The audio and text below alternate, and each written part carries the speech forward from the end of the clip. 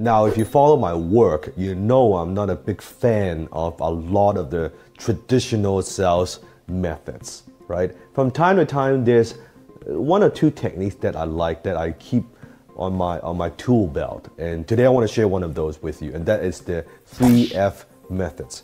So let me give you a little bit of context. Let's say you're talking to a prospect and you are getting resistance, right? They're giving you objections.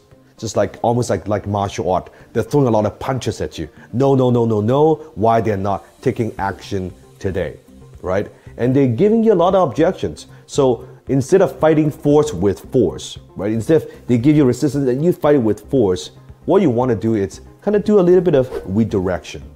And the way you do that is through what I call a 3F method, and that's feel, felt, found. Feel, felt, found. Now, very, very simple.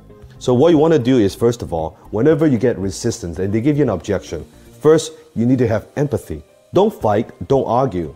Say, you know what? I understand how you feel. Right? I understand how you feel. Felt. Others felt the same way. And explain, and then here's what I found. Feel, felt, found. Now, what you don't want to do is you don't want to do it like a like a robot, right? When you get an get an objection, oh yeah, I know exactly how you feel, and others customers felt the same way. And what I found is this is simply not true. That's not what I'm talking about. It is a, a formula. So during the feel phase, you might say something like, I understand your concern. If I were in your shoes, I would have similar concern as well. Or you might say something like, I could see where you're coming from. I understand. You see, so you don't necessarily have to use the feel word, right? But it's a step. Step one, empathy.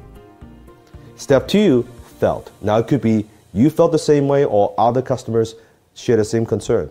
And here's the conclusion. What they found or what I found is this. So let me quickly demonstrate. Let's do an example where, let's say, I'm talking to a friend, right? I'm trying to persuade them. And I would say something like, let's say I want to convince them of taking vitamins. Very simple idea. And I would say, it's like, no, you know, Dad, I never take vitamins. I never believe in these things. Hey, man, you know what? I, I understand. I totally get it, right? I used to believe in the same thing. I don't, I don't take vitamins. I don't need vitamins. I, I get enough nutrition just from the day-to-day food. And what I realize is there are actually many different types of vitamins. And when you take the right vitamin, as such as this brand, right? When I take it, what I found is every morning when I take it, I actually have more energy throughout the day, right? Then I'm more focused. That I could, I'm more productive. Then my mind is more clear, and I get sick less just by taking these couple of vitamins. You see how that works? Feel, felt, found. Let me give you an example. Let's say you offer digital marketing services to, let's say, traditional business owner that they don't know much about digital marketing or social media. They're still doing very old school type marketing. Let's say you want to close them on your digital marketing services. And they say to you, no, I don't believe in this social media, Facebook things and all these things. I, I don't like, I don't understand how it works. Dude. I don't know, I don't think even they even work, right? I don't think they work. Hey, Mr. Business Owner, I know exactly where you're coming from. If I was in your shoes, I would watch every single dollar that I spend on marketing because in a small business, every single dollar counts, right?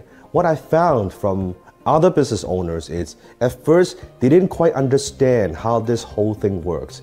But haven't you had experience where sometimes people find you on the internet and they then they come into your store and they visit your business and you ask them, how did you find this? Like, oh, it's through the internet. That if you are already getting customers by accident, imagine what you could do if you actually intentionally come up with a plan and more strategically have your website optimized, right? Being able to run certain ads on Facebook or on Google to bring you more customers. So that every single customer that comes in is not an expense for you, it is an investment. So you spend a dollar, you get three dollars back. Does that make sense? Feel, felt, found. Now, you don't hear exactly the word of feel, felt, found, but you see the formula by not fighting, not resisting the prospect. Yes, right? The resistance coming, you redirect and you go boom, boom, boom. So that's the three F methods feel, felt, found. Now, if you want more in depth training from me on closing and on sales, I have created a four part training series, a four day training series absolutely free.